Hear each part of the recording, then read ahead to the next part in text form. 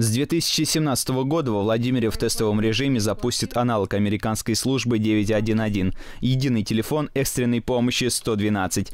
Скоро для диспетчеров службы создадут два автоматизированных рабочих места. Их оборудуют в управлении гражданской защиты на Первой Пионерской улице. Специально для этих целей Владимирский горсовет выделил из бюджета областного центра 650 тысяч рублей. На них приобретут компьютеры, принтеры и диспетчерское оборудование. В перспективе с любого стационарного или сотового сотового телефона по номеру 112 в случае экстренной ситуации можно будет вызвать одновременно сразу все ведомства – пожарных, полицию, скорую, газовщиков и службу антитеррора. Известно, что зарплата сотрудников горячей линии составит 12 тысяч рублей. С начала 2018 года единый номер экстренной помощи должны запустить на территории всей страны. Пока что с 2013 года номер 112 утвержден в качестве единого в телефонных сетях местной связи для вызова оперативных служб в случае пожара. Макаров.